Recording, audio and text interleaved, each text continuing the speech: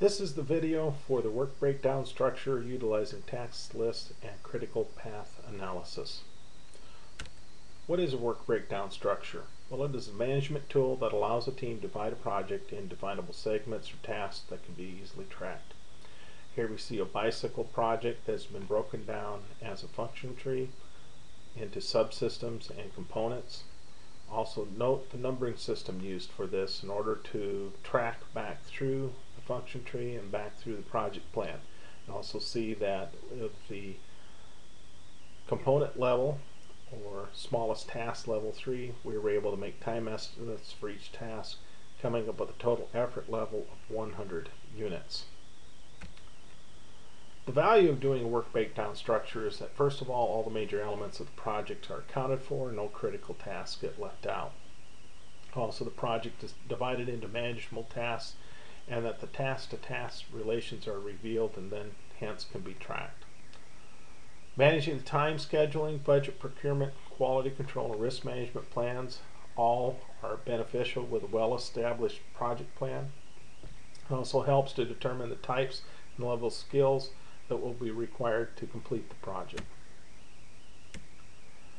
To make a WBS, the first thing we have to ask ourselves is what are our major deliverables and can these deliverables be divided into subtasks or components? And as we subdivide those down, can we get those defined into reasonably sized tasks that we can make a good time estimate for?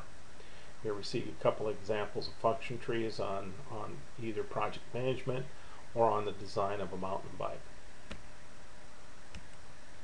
To get started, first thing we have to look at is the project charter and the scope statement. What are our major deliverables? Is it analysis with a recommendation? Is it design? Is it a prototype of a product or process? Or testing with data analysis?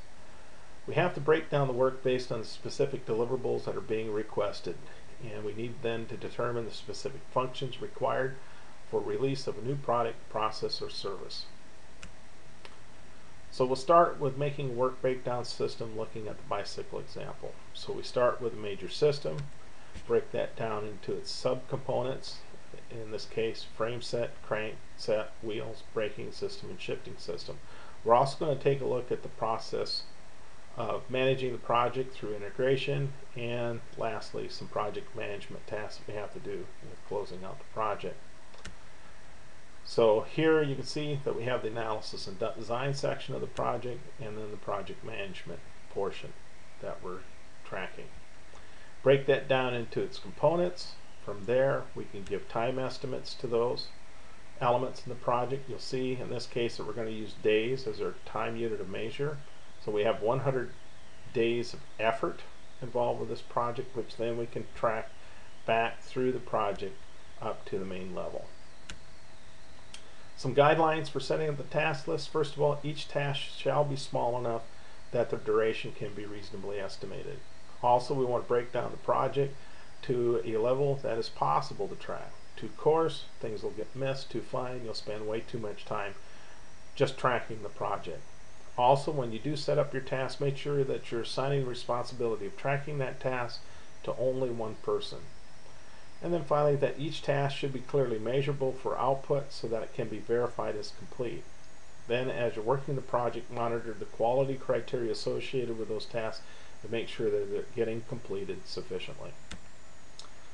So some guidelines here for building the project plan. Use the WBS worksheet in the Demandware toolbox or with examples that we have provided.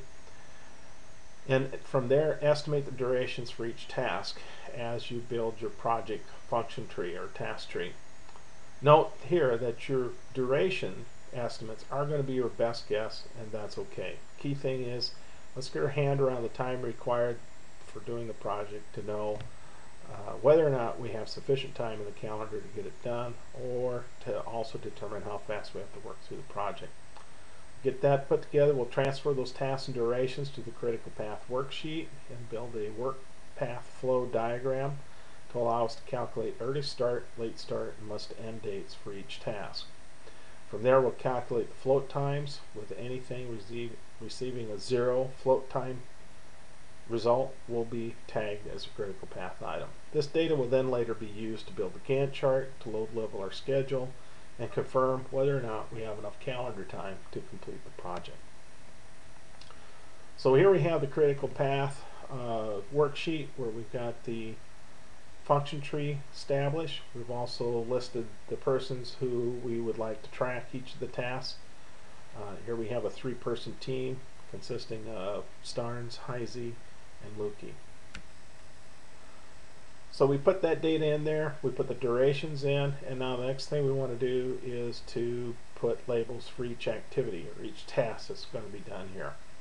Uh, the lettering here has been placed in a order that we believe they will happen on the project plan and we'll from here start putting together the work path flow diagram.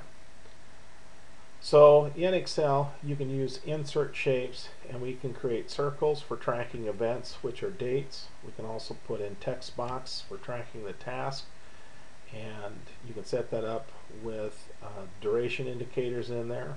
And then lastly use arrows to um, track the workflow through the diagram. You'll see here that uh, we have a total of 11 event dates, uh, tasks from A through N on here, and uh, several activities going in parallel for the course of the project path.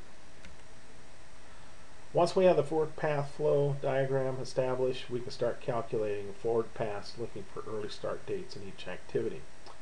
Uh, event 1 marks the zero day on the project and following the activities and flows we can then determine the early start dates for the other event balloons which represent key dates in the project.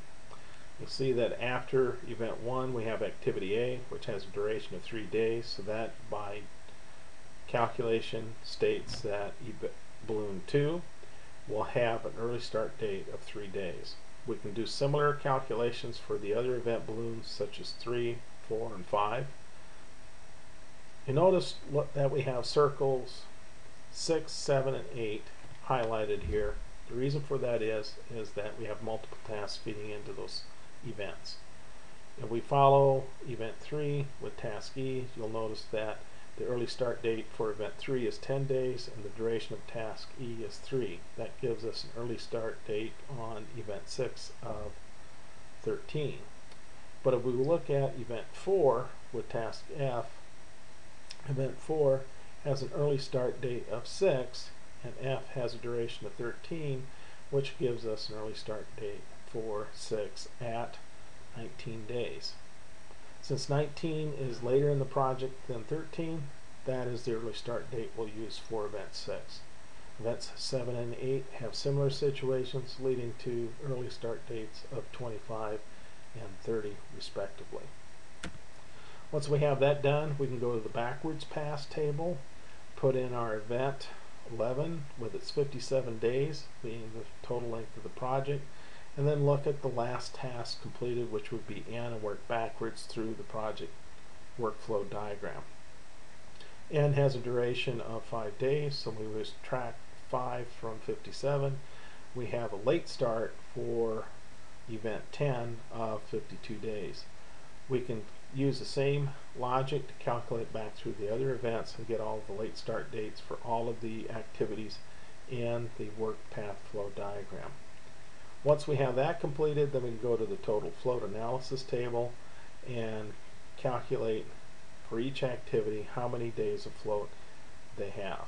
Any of the activities that come back with a resultant of zero are our critical path tasks. From there, we can then go back, complete our task list table, which will then go into our Gantt chart. We can also go to our work path flow diagram and indicate on the arrows by changing the color what the critical path is through our project plan. You'll also note that down at the bottom the effort days and the calendar days are not the same. Well this is due to the fact that we have more than one person working on the project and as a result the calendar days are shorter than the effort days involved in the project. This is typical and you can expect to see similar results in your project plans.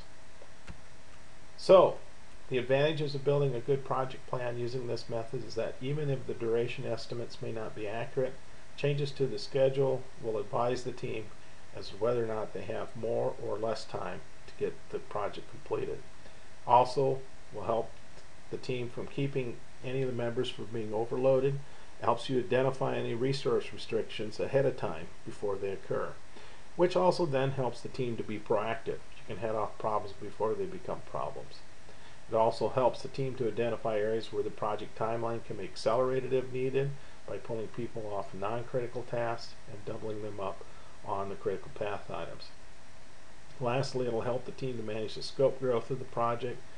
If there's any changes that are requested, the impact of those changes or disruptions uh, can be tracked to see what sort of impact they'll have on the project completion date. This gives the team uh, the necessary power to negotiate whether or not a change will be allowed into the project. This concludes the video for work breakdown structure. Be sure to watch the video on Gantt charts that shows you how to take the information from here and put that into your final project plan. Thank you.